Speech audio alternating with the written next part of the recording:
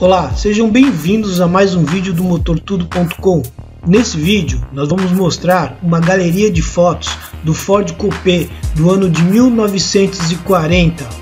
um esportivo de época com motor V8 3.6 de 94 cavalos originais de fábrica